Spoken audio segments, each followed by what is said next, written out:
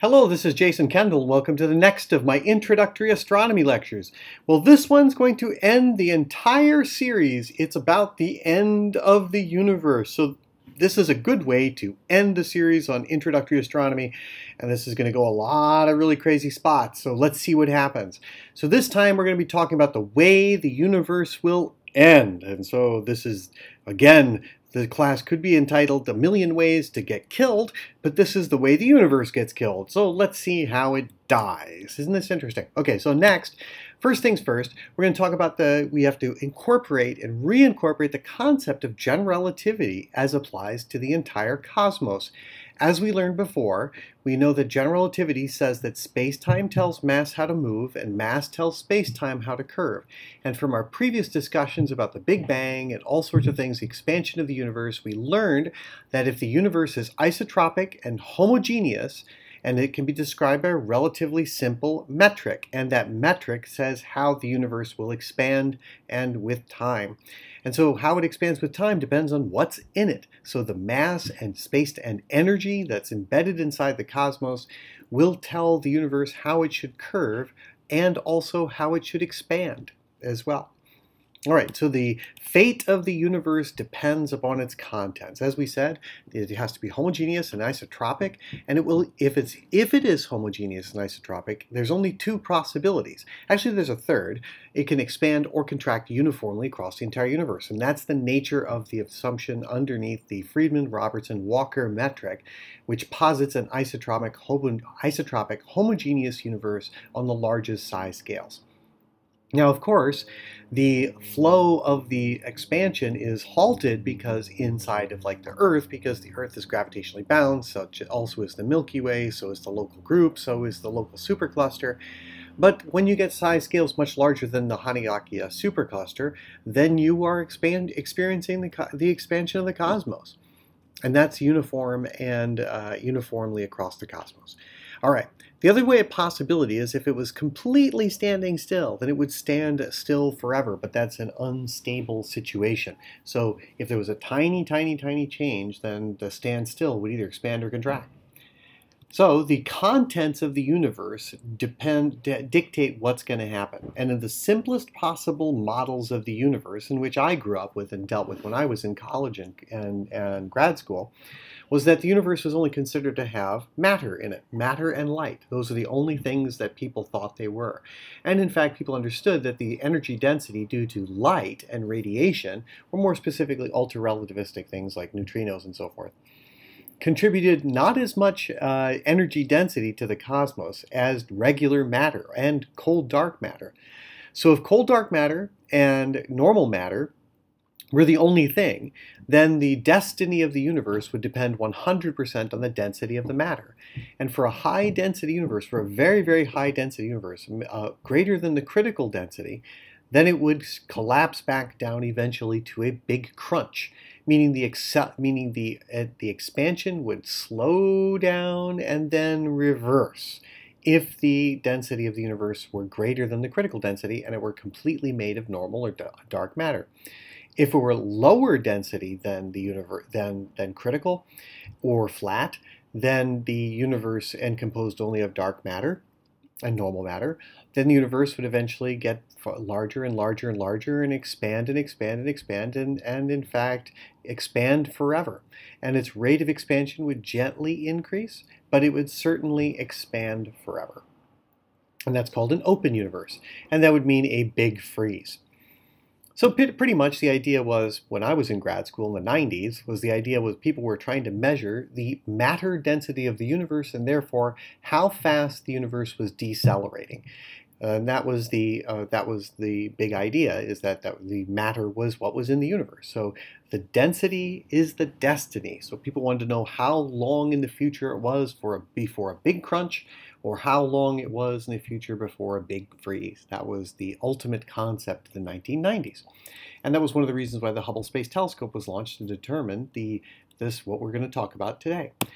So we, this particular graph shows the scale factor. Now remember the scale factor shows the rate of it is shows the the expansion of the universe now as opposed to then or later compared to now. And so the y-axis on this graph could be the scale factor, meaning how much bigger tomorrow it will, how many times bigger it'll be tomorrow than it is today. And that's, that's what we define to be the scale factor. Today at now, we define the scale factor to be 1. Remember the scale factor, though, was defined by the redshift. So the redshift itself, remember Edwin Hubble went back and looked at the expansion of the universe and discovered it and discovered that every galaxy had a redshift. So this v of redshift, meaning the speed of the redshift or the recession velocity, that is the v in redshift, is equal to the speed of light times the redshift value that was measured where the redshift value here is defined to be the ratio of the scale factors of now and ago, so that high redshift means smaller scale factor. Remember, redshift is directly related to the change in wavelength compared to the original wavelength. That's the definition of redshift. But we also then related the redshift to then the scale factor. So if we look, we find that importantly, the expansion velocity then is related to what we call the Hubble, the Hubble parameter, which is h of h as a function of time, and d, the distance between two objects, as a function of time. So the velocity, the recession velocity, as a function of time, that's what that parenthesis t means, is equal to the time derivative of a, meaning a dot, and a dot simply says, how does the scale factor vary as a function of time as the universe ages, or how, how was, what was the scale factor's change, how has it changed with time compared to today? So that's what the a dot over a means. How has the scale factor changed with time compared to the, the scale factor itself? So whatever the scale factor is at a given time, how did it, how is it currently changing? With respect to that moment. And that gives you the Hubble parameter as a function of time of distance today to a given object. All right, so we can then say a very interesting thing. We really don't know a priori how the universe scale factor changes with time. We really don't know that. So the scale factor itself is kind of unknown, so we don't know it. Since we don't know it, we can use a mathematical trick and this mathematical trick is called a Taylor expansion. And this is commonly used all throughout mathematical physics, where what you do is you say, I have no idea how this particular thing is a function of time or distance or space or what have you. You just have no idea. But what I can do is I can say, well, I know it doesn't vary wildly. I know it doesn't vary crazy time. So what I can do is I can take first and second derivatives of that function with respect to time, multiply it by the time it is changed by, and we can see, okay, take the scale, so we take the scale factor, a as a function of time, and say, well, what is it today? a is a function of t naught, and t sub 0 is the time today.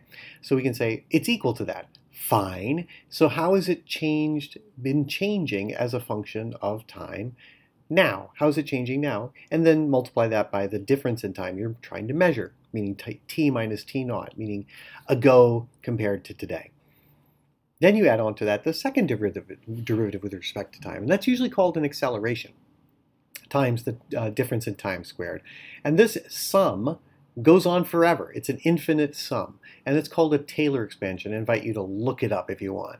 However, what we can do is we can say this is just a way of saying we have no idea how A as a function of time actually works, so we're going to do a mathematical approximation of it, assuming that we can actually, that it doesn't vary very crazily, and that's called a Taylor expansion.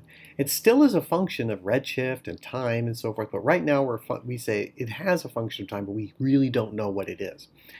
All right, so then we assume it's that smooth, we assume it is smooth, it's not wild, and so we can shorten the infinite sum to just the first few terms because if it's not wild, then those little terms are going to be very are going to vary very very short period, very small, because a very tiny difference in time, say the t minus t naught, will become really small as time goes on, and the higher derivatives, meaning the the the, the change of scale factor with respect to the change of the scale, scale factor with respect to the change of the scale factor with respect to time, you mean like a to the it, a uh, so how it changes multiply with respect to time. Those things are very small changes so we don't really notice them.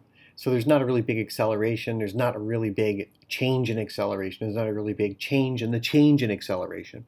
So basically it's moving really smoothly So if we do that, then we can approximate that infinite sum with this very simple little equation. And that's what the twiddles is, is the A is approximately equal to. That's why we make the bendy line equals.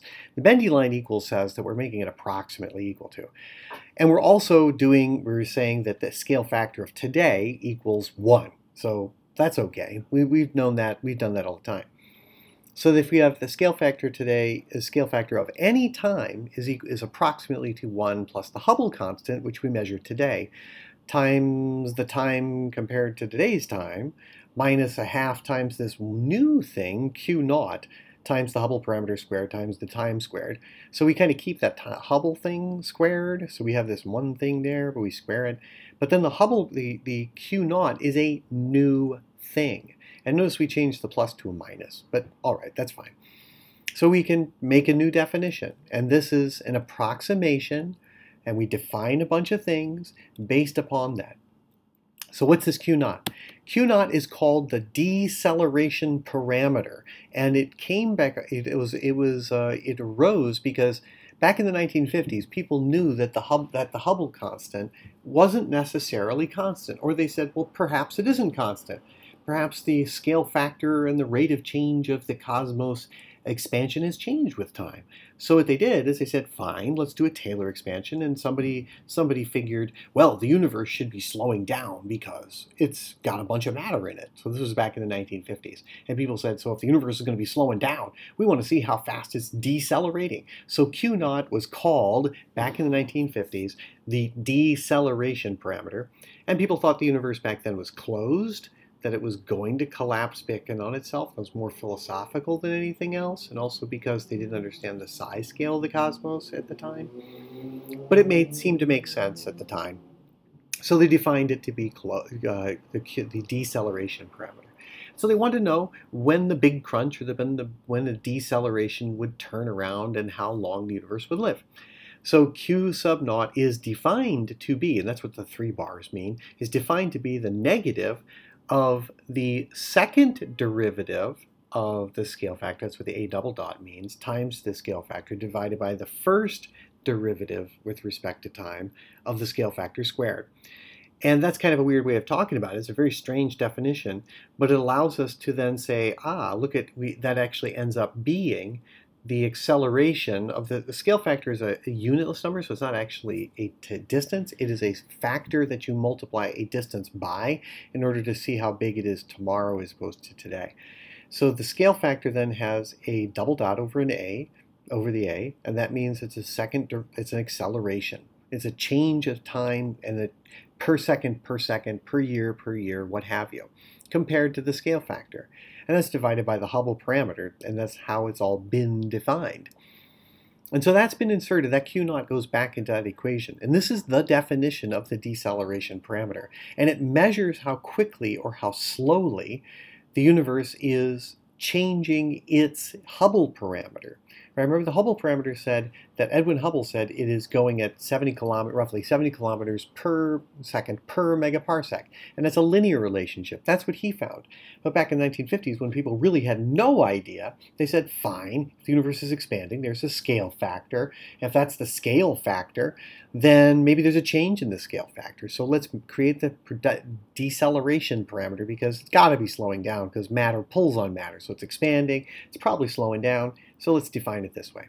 And so they did. Now the deceleration parameter can then be plugged back into another very important equation from general relativity.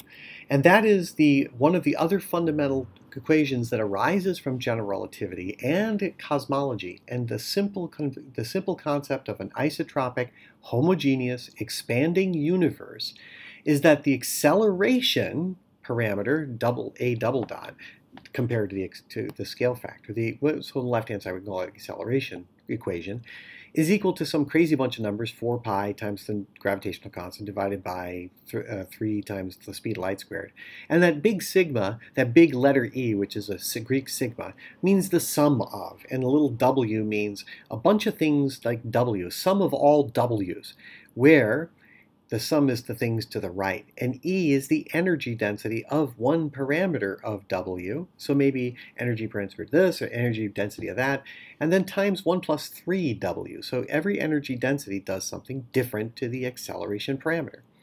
Now, for normal matter, like, like atoms and molecules and even dark matter, the W is zero because it doesn't do and it, it, it doesn't doesn't do anything different to the acceleration. Either it's there or it's not. It pulls by gravity. It does nothing any different. So it just behaves like normal energy density that we perceive. For radiation, like light or neutrinos, W is equal to one third. So that changes the little thing to the to the right, so that becomes 2EW, right? So you get this one third, and it's what, 2 times EW. So whatever the energy density E sub W is for for radiation, whatever that is, that's what it is. It's twice that. That's so it contributes twice as much to the acceleration as normal matter. And then if we say some concept like dark energy, or more specifically what Einstein called a cosmological constant, we would plug in W is minus 1. So then that becomes a, if W is minus 1, then that thing on the right becomes negative 2. And then the acceleration, if you look closely, it becomes positive. And that becomes the, instead of a deceleration, this whole thing's been defined in terms of a negative acceleration. A negative acceleration is a deceleration. Everything is a deceleration. So matter provides deceleration because on the right-hand side it stays negative. Radiation, like light, provides a deceleration because everything on the right stays negative. However, for dark energy, if you plug in a minus 1 into W, and you see just the components, we make it just like the only W component. The big sigma says we're going to add together normal matter and radiation and dark energy or anything else. We don't even care. We just have to know what its W is. Maybe there's some crazy sort of thing where the W is equal to like 4 or minus, a, minus one third, or maybe it's equal to like uh, one half or something. Maybe there's a different W. So you have to say, oh, the energy density of the stuff that is W equals one half. But so far, there's only really three things that we care about. Normal matter, light, and maybe dark energy or cosmological constant. So notice that if you plug in minus 1 for W and consider only that and get rid of the sigma with the W below it, then it becomes positive and it's an acceleration as opposed to deceleration. And that kind of helps because when D, well, because when Einstein first created the cosmological constant, remember he thought it was done to balance against the pull due to matter, because matter would pull as a negative. So he said, let's throw in a cosmological constant and have it be this stuff that pulls, that pushes. And so he said that would be a negative one. And that's where it comes from. That's why even anybody was even thinking about it.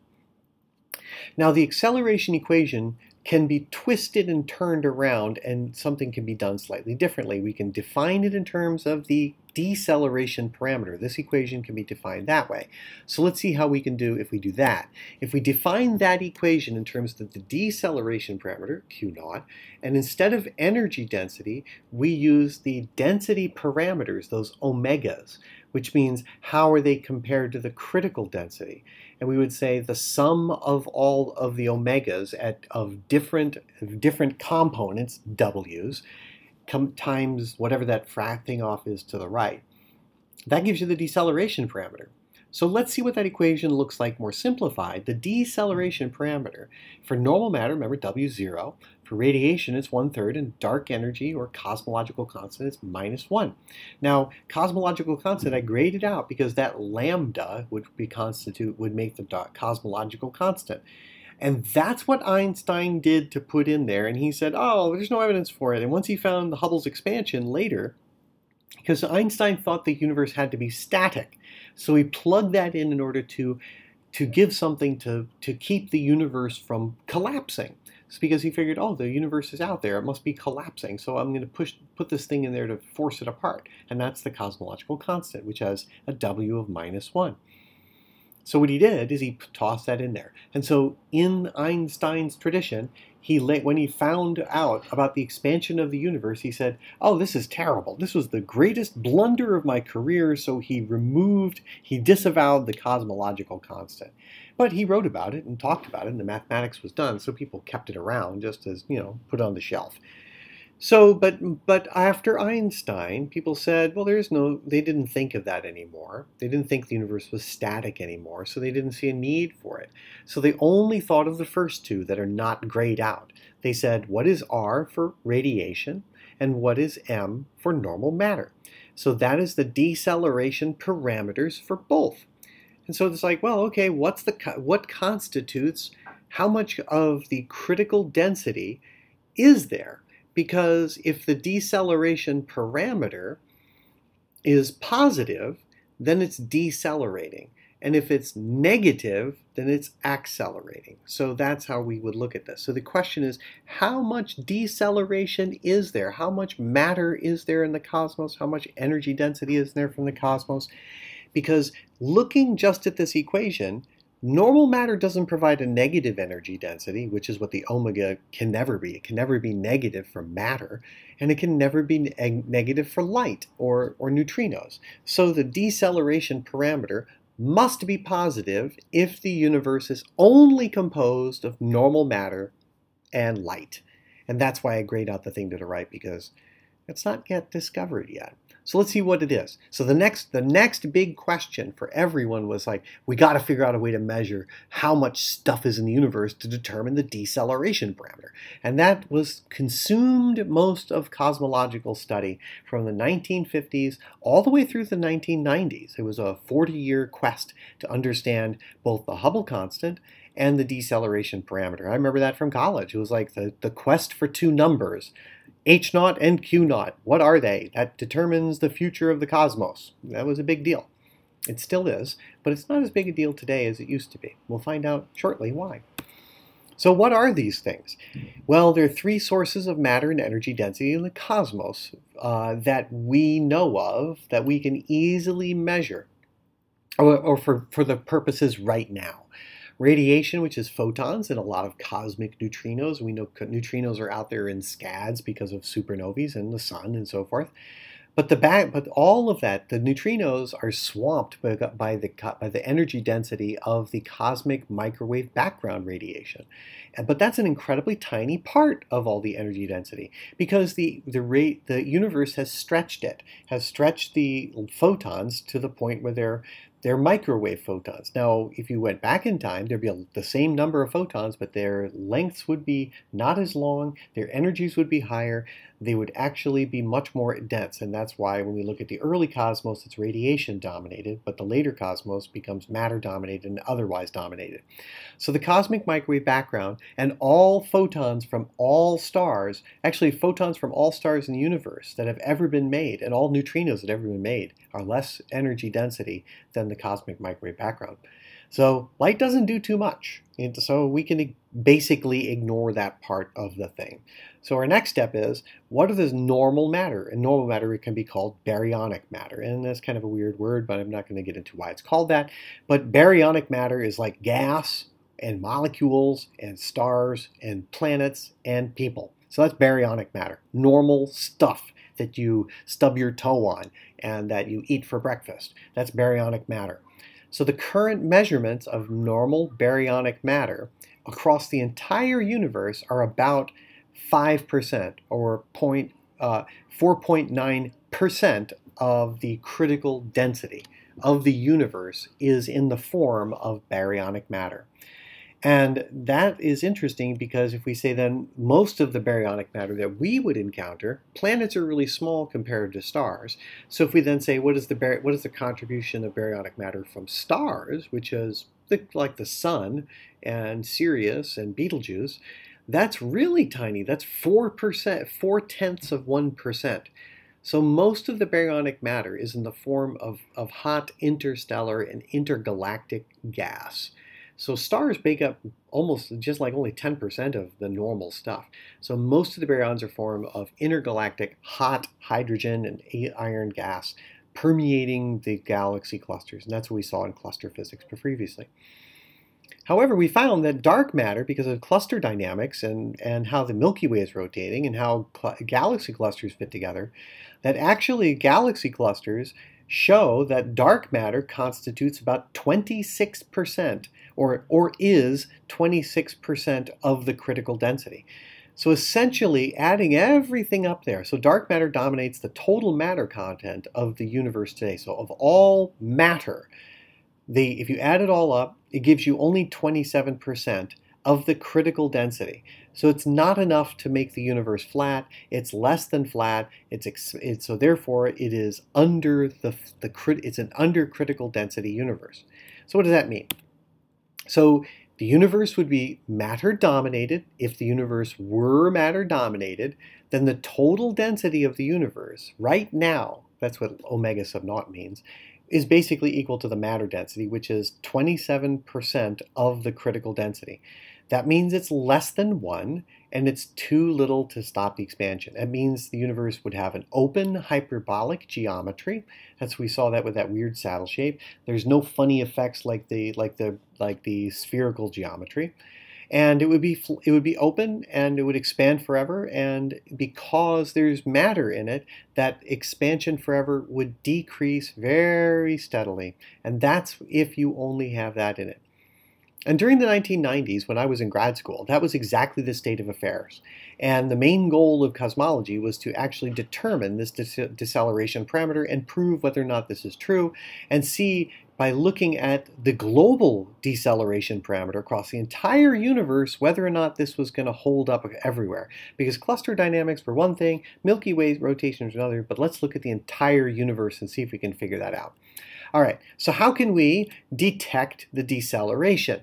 Well, first things first, we've got to have a couple things. We're going to now write, we can say the proper distance. So we want to know, to get deceleration, we need to know how fast two things are rushing apart or falling together. We want to say how far are they now, how far were they then, how far are they, how fast are they going apart.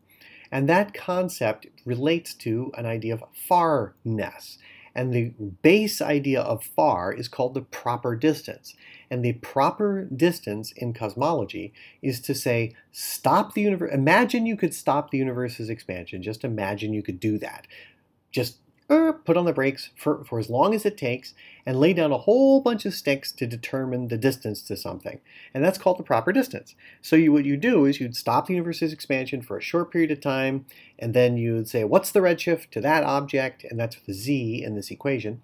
And what is the measurement of a bunch of z's?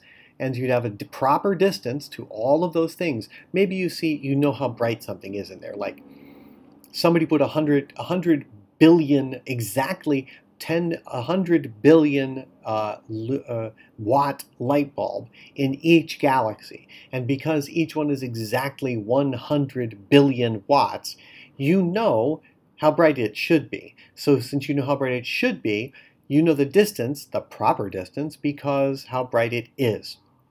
All right, so that would give you this. However, we don't actually, we can't stop this. So the proper distance assumes that we can do this. But if you could somehow measure down the ruler sticks, that would be the proper distance, and then you'd measure the redshift from that galaxy to that galaxy at that moment that you laid down all the meter sticks, and that would give you, for a large number of objects, a statistical study that would give you H naught and Q naught.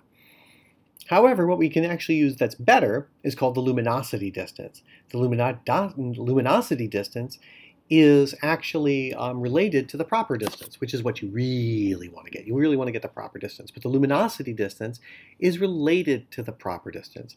Lumino luminosity distance is what I just said a second ago. Imagine you know how bright something is. How bright does it appear to be? Now, that is dependent upon the distance. Remember, the distance is changing. Since the distance is changing, then it is affected by the redshift. The redshift, the expansion of the universe actually affects that. So you have to take that into account. So the lumino- the brightness or the distance you would measure by knowing how bright something is and then measuring how bright it appears is affected by the redshift. So you have to fold that in. That's where that 1 plus c comes from. And that's approximately equal to a slightly different equation. They're almost identical. You can see how the minuses and pluses are swapped. So they're almost identical. So that's the approximation equation. And so when you measure something, you want to find something that is where you know how bright it is. And that's what Hubble did. He knew how bright the Cepheids were Because Henrietta Leavitt created the period luminosity relationship. And so if you have a period luminosity relationship, you're measuring the luminosity distance. However, at very small redshift, they're the same thing. I mean, if you look closely at this thing, you see a z squared in there. So a small redshift, a z times a z is going to be even smaller. So it's approximately just the thing that Hubble did. And Hubble only looked at small redshifts. So he did, could never have perceived the, uh, the, the deceleration parameter at all in anything because he was looking at things that were simply too close. Tens or hundreds of megaparsecs is simply too close to measure the deceleration parameter. Isn't that wild? We have to get something larger than 100 megaparsecs to begin to see this. So we need something really, really, really bright. So Hubble measured a very small, uh, measured close by, and that's why we see the little equation down on the right.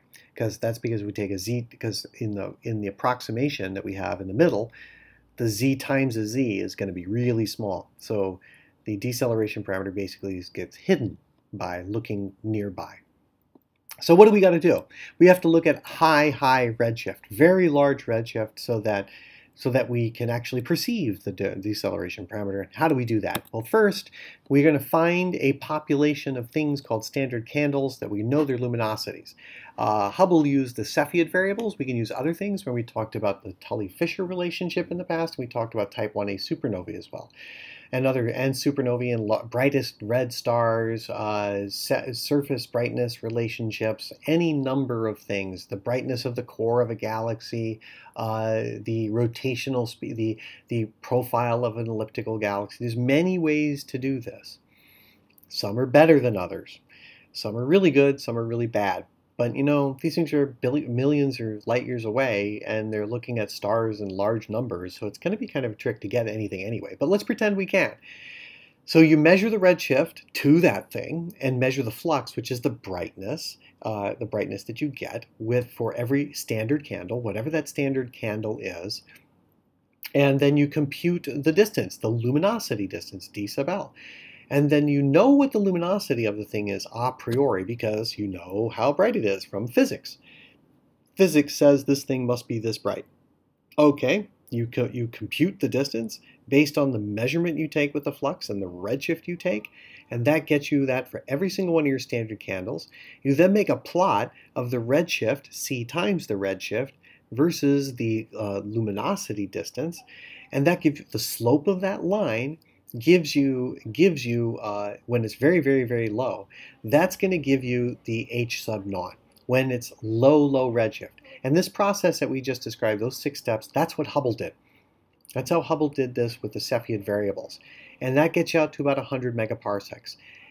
To get farther than that to see deviations from a straight line the plot cz versus dl it won't be straight, or it's not necessarily straight once you get farther than 100 megaparsecs because we want to see that deceleration parameter. So let's see if we can find it. And let's use a particularly bright object called a type 1a supernovae. And we know that these type 1a supernovae are good standard candles because they always, these supernovae, these white dwarfs explode when they reach their Chandrasekhar limit. They explode when they get 10 molecules, 10 atoms too many. So they're extraordinarily luminous, and therefore we can see them from when they're really, really far away.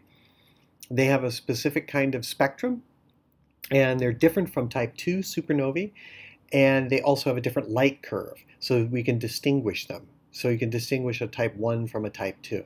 However, it's also expected that binary stars would actually be more common than supermassive stars. So an extraordinarily bright type 2 supernova should be less common in general than a type 1a.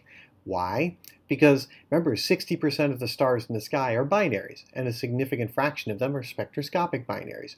And as we saw way early in the course, is that binaries are really common, but supermassive stars are not. So a star that would become a white dwarf is common. A star that will become a neutron star is not. So you can have a binary star pair, one of them becomes a white dwarf, and then the other one dumps stuff onto it. So you should, in general, expect to see, if it's a supernova, it's more, li more likely than not to be a type 1a supernova. So even if you make the mistake, it's still a pretty good mistake to make.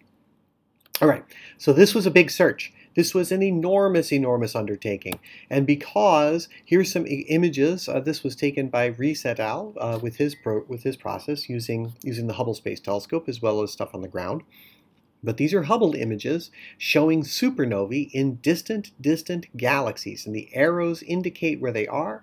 Uh, so there's befores and afters where the supernova was discovered basically point a very, sensitive telescope at lots of different galaxies in the sky, make a make a big search, then go back to see if anything has appeared there that's different, and go back repeatedly. So you're going to go back and forth and back and forth amongst many, many, many galaxies and try to get as many as you can and see if you can find any.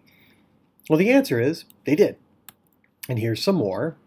Here's some more ones, those little dots in the center of each one, those are some. And then there's more and there's a bunch of them floating around, and there's even more. So there's a lot of these things that we're seeing. And so the Type 1a supernovae, there's roughly one every, you know, thousand years or so in a given galaxy. So all you have to do is go hunt for enough galaxies. If you look at a thousand galaxies, you should see one. So if you look at 10,000 galaxies, you should, should see 10. That's kind of the idea. So now we actually ask the question, are they really the same? Are all these exactly the same thing? Because if they're not the same thing, then they're not a standard candle and we can't do that. So what we do is we say, let's look at the light curves for all of these standard candles. And each of the colored dots indicates a time that they were looked at and when they were caught at their brightness. So brightness is up and down and time is left and right with, with time progressing from left to right and brightness going up and down. And if it's the same color, it's the same supernova. So you can see that there's many different colors. They all follow the same curve. Since they all follow the same curve, they must be the same kind of object. Now I do mention something about a stress, stretch factor here, and that's because the time gets stretched too. Remember there's the, that redshift stretches times too, because it's stretching the frequency as well as the wavelength of the light. So it'll stretch the length of the curve, but once you take that into account, they're all the same. So type 1a supernovae, this is this curve showing a plot of the type 1a supernovae over a large group definitely tells us that yes, we're actually onto something by saying these actually are standard candles. So let's keep going. So here's what you can do. Let's go all the way back to our first, first, first thing. We talked about brightnesses and distances and things. Remember these, this is called the distance modulus equation. So we're digging this way up from way back in the first section we talked about distances and, and magnitudes. So the first things on the left-hand side are the apparent magnitude and the absolute magnitude.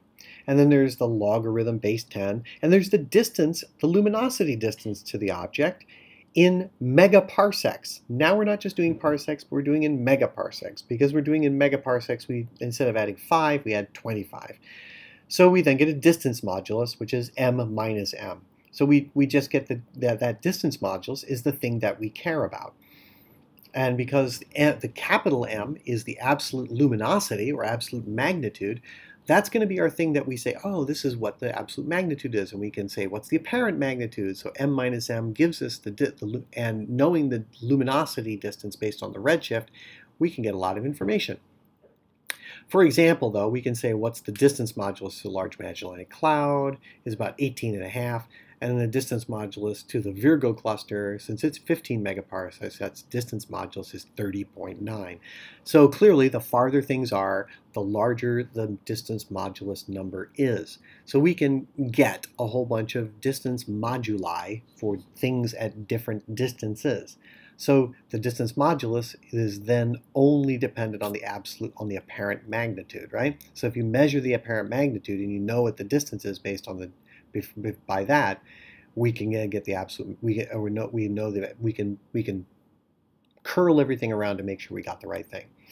But that's not 100% because we're not measuring distances, we're measuring redshifts, right? We're associating redshift with distance.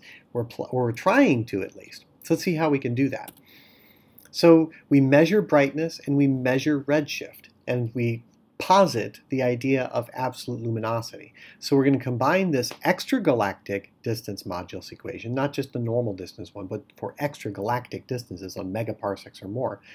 And then we can plug that distance modulus equation, or the specifically the d sub L, which is the, the luminosity distance, into this equation. Just combine these two things, plug the dl into the equation above, and make some approximations and yada yada yada. And then what we get is that we find that the distance modulus equation with respect to redshift as opposed to d sub L is rather simple we have for that, well, it looks kind of complicated, but it's a sum of terms.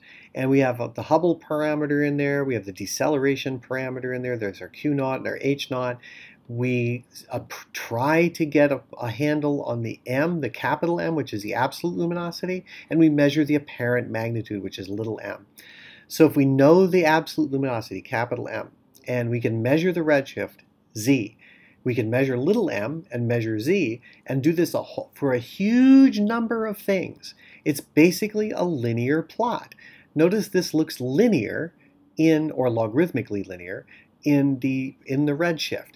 Notice there's a log base 10 of the z, and then there's a there is also a um, there's also a, a, just a, a, linear relationship with respect to z as well. That's dependent on the, the deceleration parameter. So if you have enough stuff, you can make a line and see what numbers for H naught and Q naught fit. That's all you do. And that's what was done. So here is the plot from Riess et al. And uh, Adam Riess and his team with the High, Supernova, High Z Supernova Search team in 1998, as well as Saul Perlmutter and his team with the Supernova Cosmology Project in 1999. These two things were, were published together. And this distance modulus as a function of redshift for these objects for extraordinarily high redshift out to about 1. On the right hand side is almost a redshift of 1. And what we're looking at here is that there's three lines going through the graph. And one of them is the critical mass density. Remember, we related the deceleration parameter to the content of the universe. We could have put that in there too. So we just went the deceleration parameter, just did that. But if we then say, what's the best fit deceleration parameter to this stuff, it's kind of hard to tell from this graph, but let's say we remove or normalize it to what we thought we knew. Because remember, the expected amount was about 30%. So the middle thing with the triple dots, 0.3 and no dart, no cosmological constant, which is uh, lambda, omega sub lambda. There's no energy contribution from that and the matter contribution, omega sub m, is about 30% of the critical density. That's the thing that everybody thought from the 1950s through the 1990s. So getting the exact value of the deceleration parameter is tricky. And as you can see, it's very tricky from this because each of these dots is a data point and the, and the little bars up and down from it, those are the error bars associated with it. But let's normalize this to the look when we just say, ah, let's see, let's just go around the point three. So let's actually take a slightly different view of it. And the dotted line again is the is the critical den is the total matter density compared to the critical density, which is 0.3, and that's the dotted line going across the middle. The the flat universe with critic with mass made a flat universe is the sol is the is the deep dashed line going that arcs to the bottom. Notice it kind of goes across and across and across and then arcs down at the bottom. So it's the one that meets the right hand side really low, the one I have not indicated with a green arrow. The best fit for the data that they have is one where we have a flat universe and that the omega sub lambda is 0.7. So the best possible fit to all that data you know, it kind of looks scraggly, but it certainly isn't. There has to be something there that's that's different than matter. That's kind of scary. So they're best fit to the data, and this is the data from the 1999 and 2000 papers and so forth in 98. This is the discovery papers, where they said the best fit includes a, an energy density of 70% of the critical density for the cosmological constant. And this is the data that they showed. So what about a cosmological constant? Let's go back to that equation that we had where we demonstrated it. We find, oh, okay, what do we get? Well, that, what does that mean? It says that if the matter and energy density is close to 0.3, and if the density of the vacuum energy, or the cosmological constant, is 0.7, then the deceleration parameter is negative 0.55. A negative deceleration parameter is an acceleration. That's an acceleration because it was defined in terms of deceleration. So a positive q naught is a deceleration and a negative q, q naught is an acceleration. So the best fit to the data was one where there was where their deceleration is an acceleration. Now this is important because there are a lot of different ways that the deceleration parameter could have been measured. There's lots of different possibilities for the for how the universe can go in the future and how it can go in the past, but only measuring it can get you there. There are some toy universes, and we call them toys because they don't really happen, where we have a negative cosmological constant, it recollapses, or maybe there was no Big Bang and it just went down to a minimum size and came, well, like it started big, collapsed down to a minimum size, and re-expanded, so there just didn't get to zero size. Or maybe it was, it had a Big Bang really long ago, and it didn't do anything for a very, very, very long time, and it coasted and expanded. And maybe there's no cosmological constant and so forth. But the, what the measurements are showing is that there is a positive cosmological constant which makes the universe expand forever and accelerate. So that is the discovery of dark energy. And so they're best fit to the data, and that's what those arcing curves are all about. Remember how the data points were there? They tried to do their best statistical study to say what is the highest likelihood. And the and Riess and Perlmutter were competing teams. Uh, Perlmutter's team was called the Supernova Cosmology Project, and Riess's team was called is called the High Z Supernova Project and their values are overlap quite well. And the old idea that I dealt with when I was in college is on the green line, where there is no cosmological constant, and so we would all it would be in the decelerating universe parameter space. See how that decelerating is below the dot dot dot, and the accelerating is above the dot dot dot. So if there is a positive cosmological constant, and it is larger than zero, then the universe will likely accelerate. I mean, if it's not too big and there's a lot more matter, then it could still have, could decelerate eventually. But the funny thing is, is it lies right on that their measurement lies right on the flat universe line, which is between closed and open, but it definitely lies above the accelerating thing. So we find that it's definitely not a no Big Bang like a bounce universe. It's definitely because that's way up high. So you have to have a huge cosmological constant, which is not seen in the measurements. So that's not that did not happen. So there are, there was some Big Bang. However, the universe is now has some component that is causing it to expand and expand and expand. The, the ovals show their best statistical fit to the data, and that's what that means. So here's something that they wrote up uh, that came out in Physics Today, uh, and this is this shows more about the nature of when the redshifts were dot and where their dots are, and you can see that the higher the redshift, the farther back it goes. And looking at that, we can see that the universe had first decelerated, then accelerated, or basically has been accelerating since about 5 billion years ago. It's definitely in the expanding forever category as we look in the farther and farther past, and it also is definitely in the farther ago. So really when you look at the distance modulus, all it said was is that the things were dimmer than they should have been. The supernovae were dimmer than they should have been. So that meant they were far, they're farther away now than expected. So the universe must be accelerating. That's basically what was found with the distance modulus. They were fainter. At a given redshift, they were fainter. And the farther, the bigger the redshift, the fainter they were than is expected. That's what that means. So if we found their galaxy's redshift in there, we could discover that basically that the universe has some sort of vacuum energy and it's likely accelerating. And that's what was found by Perlmutter and Schmidt and Riess. So Brian Schmidt and Adam Riess were the supernova, I'm sorry, I kept emitting, emitting, omitting uh, Brian Schmidt from it.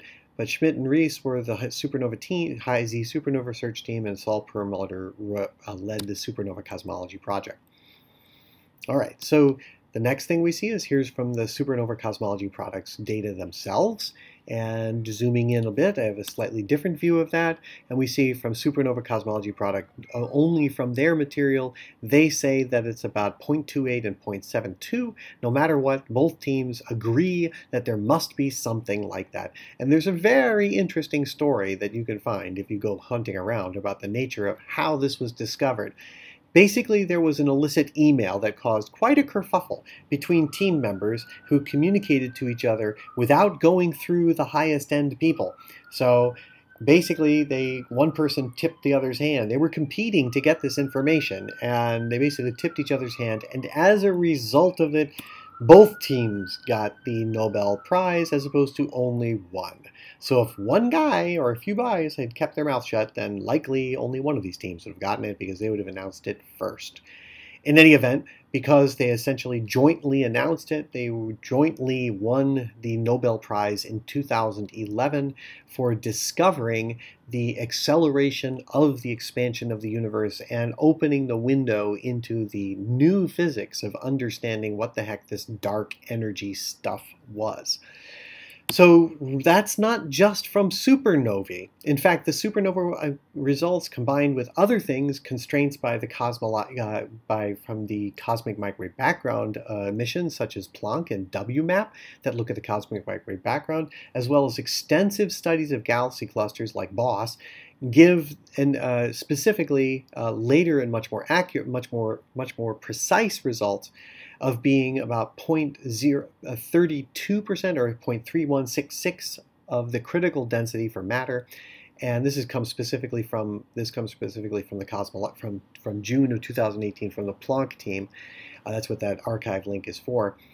Is 0.6847. So if you add those two up, it's almost exactly one. They give a, almost exactly one, which is really nuts. It's almost, it's one plus or minus. I didn't get the error bars in there, but we add the error bars in there. It's pretty much one.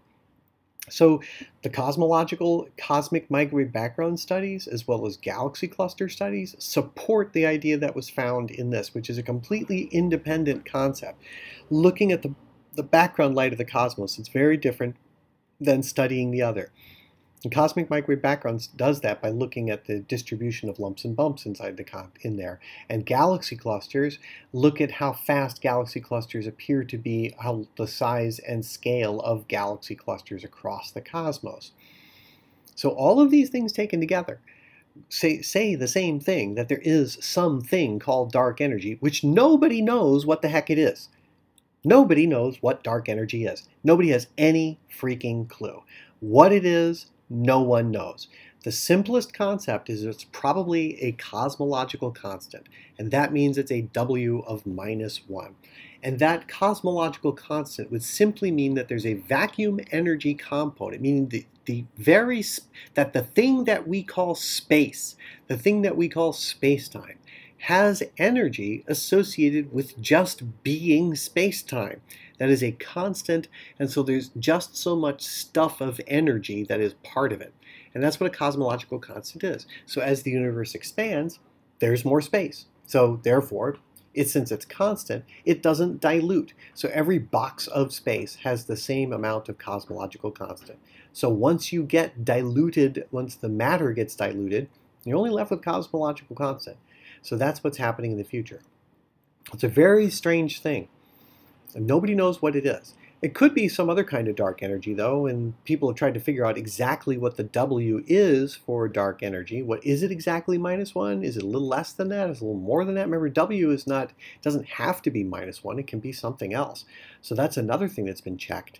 Um, there's all sorts of weird things that it can be called, that it can maybe the nature of the cosmological constant changes with time. Maybe it's only minus one over here, maybe it's minus 0.5 over there.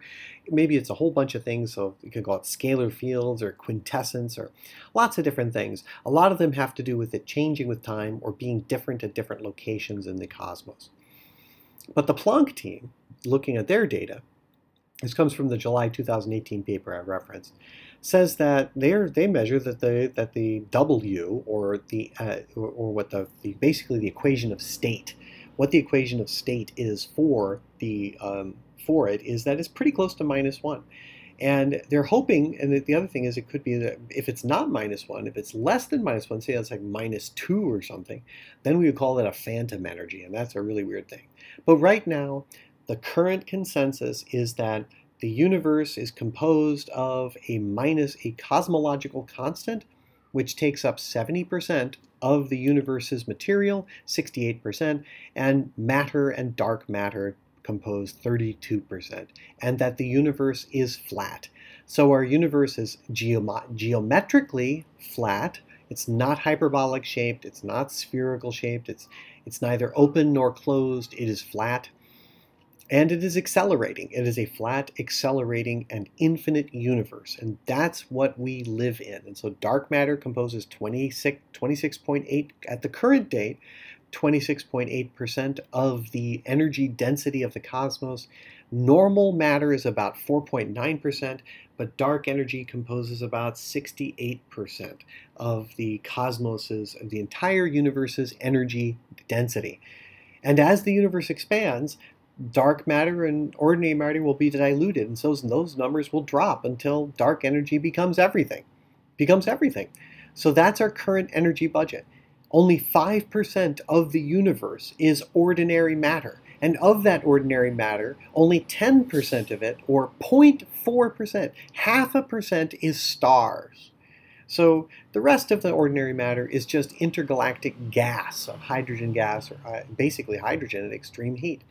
So ordinary matter is not even planets. Ordinary matter is mostly inter intergalactic gas. The rest of it is the rest of normal matter is dark matter that doesn't interact with light in any way. And dark energy, we have no idea what it is. All we know is that it's forcing the universe apart and forcing it to accelerate in its expansion. All right, so that's where we get the cut, and so there is what we get from from all these strange things. And really, no one knows what dark energy is. It's presumed that you can't actually make a box out of dark energy, and you can't box it into anything. But even though it's everywhere, and it's uh, inherent to space-time itself. That leads us to what to say what's going to happen in the future of the universe. So what will happen? So today in the future of the universe, because if the universe is going to do that, it's expanding, accelerating, what's going to happen? Well, today there's stars, stars that are metal rich, more stars explode. If they explode, they make stuff, and then that makes there's a little less hydrogen as time goes on, but there's pretty stars and planets and things like that, and white dwarfs are made, and neutron stars and black holes, but things get locked up in those things.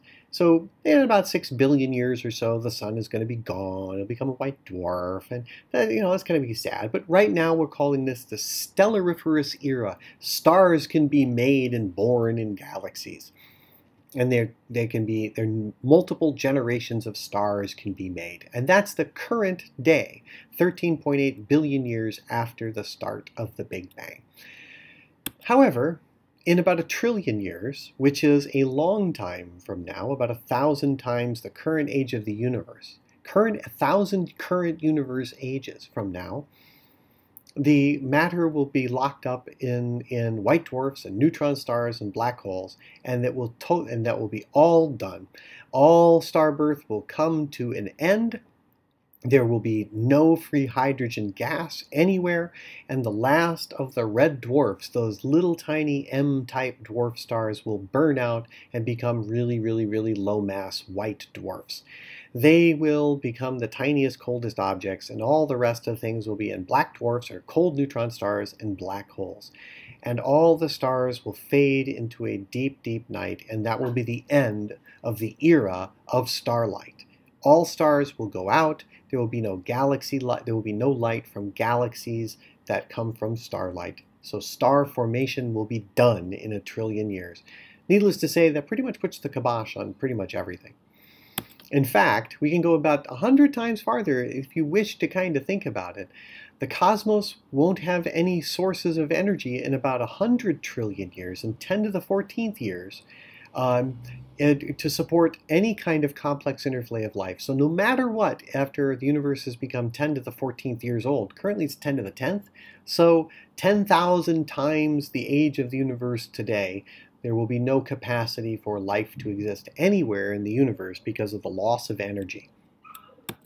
After a thousand times more of those times, the solar system would evaporate due to interactions. Not evaporate like stars, like the planets themselves would come apart, but simply random interactions between the moon and dust and asteroids and Jupiter and Saturn and Mercury or whatever's left in the in the solar system and every solar system in the universe, of which we know there are many through the Kepler Space Telescope they eventually would be scattered. So planets would be scattered out into the interstellar, into the galactic medium that is now very dark. Or if they didn't get scattered, they get swallowed up by the white dwarf or neutron star that makes up their whatever they're at. So wide binary systems are broken apart. So everything is now evenly distributed, and they're all, or anything that's close gets gets pulled together. Anything that's far gets flung apart. And so the expanding universe just means that these rare, rare, rare, rare, rare things where a planet might go by another planet get flung out, it takes a long time for something like that to happen. But 10 to the 17th years is a catastrophically long time because that's 100,000 times more time than the current length of the universe now. After 10 to the 27th years, which is 100 billion times longer than that, uh, so we have to go 100 billion times more of those in order to get to the point where galaxies themselves, not just not just the get spread apart because of interactions between stellar remnants such as black holes and dead neutron stars, and almost everything gets ejected and uh, out from them, and they just go out. And so now there's no such thing as a galaxy anymore, and the rest is he falling into the supermassive black holes at the center. Some of those things, uh, if they coalesce into that supermassive black hole, the largest would become up to 100, 100 trillion solar masses, which is much larger by a factor of a thousand than any of the other any any current um, uh, supermassive black hole known.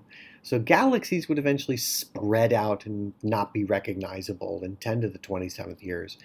Even farther in the future than that, after 10 to the 32nd years, which is now, wow, really far, 10 to the 20, 10 to the 22nd times the current uh, age of the cosmos, it is thought that protons themselves would be unstable.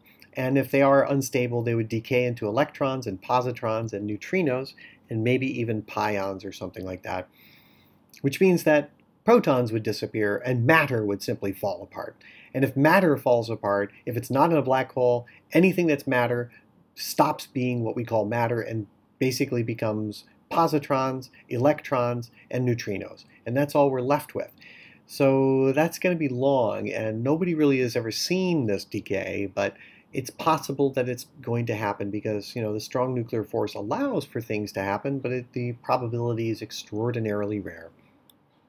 After an extraordinarily long period of time, 10 to the 67th years, stellar mass black holes evaporate by emitting Hawking radiation, and after 10 to the 106th years, supermassive black holes evaporate by Hawking radiation. This is enormous, enormous, enormous ending, and that is the end of all organized matter in any way. All that's left in the cosmos now is an accelerating, rapidly accelerating cosmos filled or only gently filled with extremely long wavelengths of light and neutrinos and electrons and positrons. So after they're all evaporated, the universe is basically cooled off to a temperature of absolute zero. The only thing that's left is a formless thin gas of electrons, positrons, and neutrinos, and they're spaced apart by hundreds of megaparsecs, so they're not really touching the radiation, the light, is incredibly uh, redshifted photons, and in fact, the, probably the photons themselves would be much larger than the size scale of the universe today.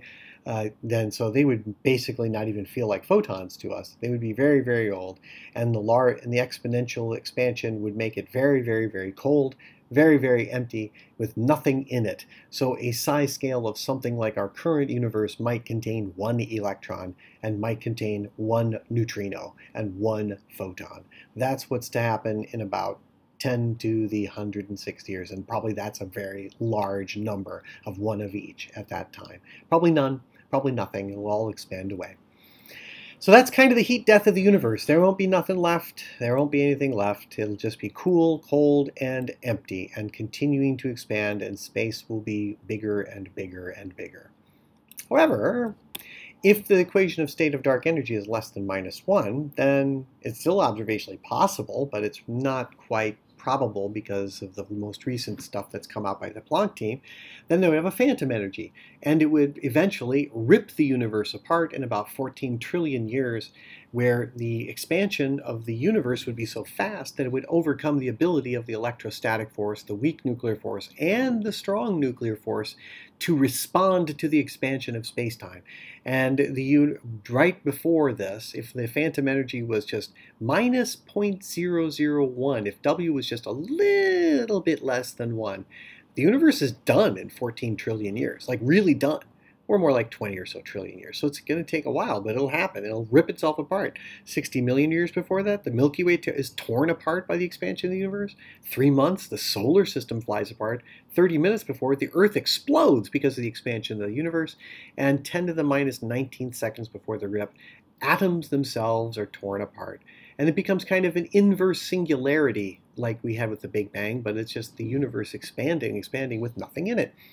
That's a big rip. However, the Planck probe shows that we're in a flat, accelerating cosmos and not one with phantom energy. So this is very interesting to talk about, but it's probably not what it is. So the possible fates of the universe, some say the world will end in fire, some will say in ice, but what, from what I've tasted of desire, I hold with those who favor fire. But if I had to perish twice and think I know enough of hate to say that destruction, ice is also great and would suffice. And will the world eh, end with a bang or a whimper? Is the real question. We don't know, but it's looking. It's it seems like the world will end in ice. Essentially, not even in ice. Ice won't even be there. It'll be emptiness and cold. And so the end is a whimper, a tiny, tiny nothingness. How's that for you for an afternoon? Now, if we look then to the largest size scales and say outside of our cosmos, it's called beyond the particle horizon, meaning beyond every universe, what we can possibly know what we can possibly measure. Not know, but measure. There are lots of different things that we can talk about that we could go over in extended things. So I leave this as a list to you to go over and go hunt down because this is really some interesting stuff for you to go investigate and learn about. Because to me, this has always been some of the most interesting things, like the chaotic inflation, meaning maybe the inflation happened here or maybe it happened there. Uh, the concept, and it'll happen here, maybe it'll happen again. So chaotic inflation has a, has a very interesting concept the concept of the landscape, meaning that there are many, many, many, many universes, and the universe is much, much larger than our observable horizon. And there's an, a vast area where universes pinch off and expand from each other, but maybe they have different physical constants. Maybe the constant of the speed of light is different, or the charge in electron is different. But then that leads to the concept of the anthropic principle, which is, hmm, our universe is funny. It has life in it. And all, if you change any one of those constants by a little bit, we ain't got nothing. Big number theory has some very strange things that say there must be some relationship between the big, big, big numbers because they all tend to be big and all the same rough value. The uh, Poincare recurrence says, well, if you let the universe age long enough, you eventually get the same stuff again. But that seems to be eliminated by the fact that dark energy is going to push everything apart.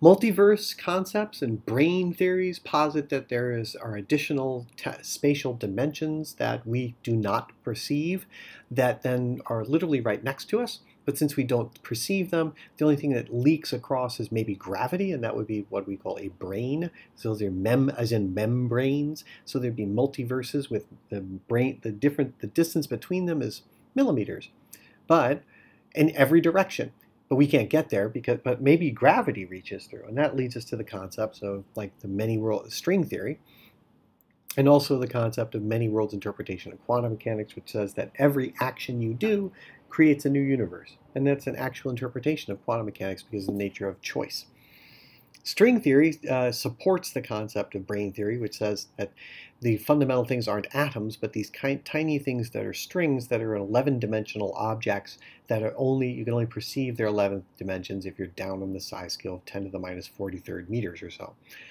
For fun and enjoyment, I invite you to go look at uh, author Greg Egan's uh, science fiction novel Diaspora, which looks at all of these things that we just talked about in a very, really, really heady way. It's one of the most hard sci fi novels, but I, I encourage you to go take a look at it. And I think that's a, that's a great way to end it, uh, to give you something to go explore, because even as the universe is ending, we still have so many questions about the nature of nature. See you soon.